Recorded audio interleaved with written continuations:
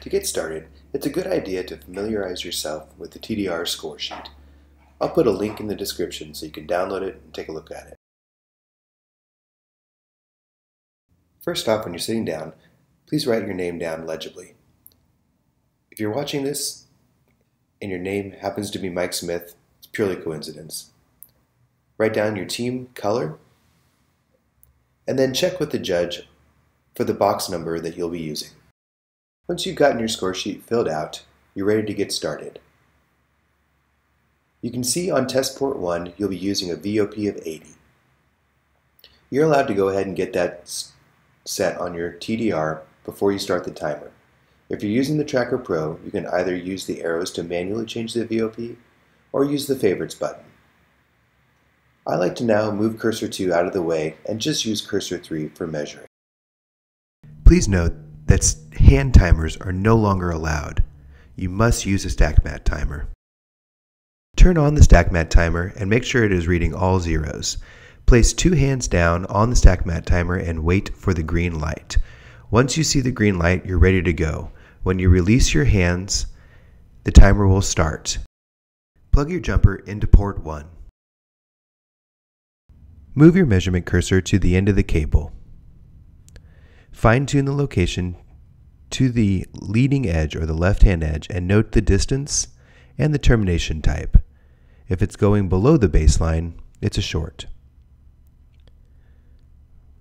Write down the distance and whether it is an open or a short. Move your jumper cable to port 2. Please note on the score sheet the VOP for port 2 and change the TDR accordingly. Now just repeat the process. Move your cursor, align it with the left-hand edge or the leading edge, and note the distance and the termination type.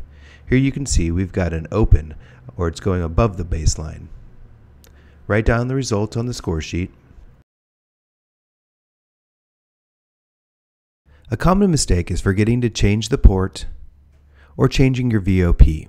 We recommend, if possible, getting very comfortable with the TDR you're planning to use and repeat each sequence for each port.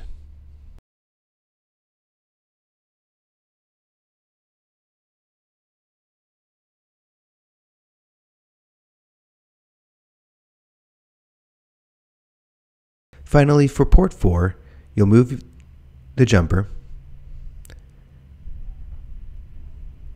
Change your VOP and measure to the end of the cable. Note the distance and the termination type and record the results. You'll see at the end of the score sheet there's a bonus, distance to splice. You'll need to get this to get 100 points on the test. Measure to the leading edge of the splice and record the results. Then stop the timer using both hands.